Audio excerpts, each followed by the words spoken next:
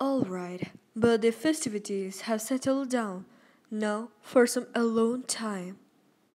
Still not sure what the point is of these jeans that Twilight got me from the human world. They're a bit tight despite being my size, but I appreciate the thought she put into it.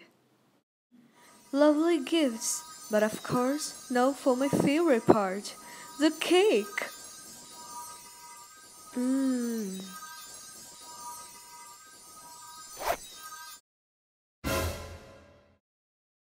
Dear, I guess that was too much cake. I hope no pony saw that.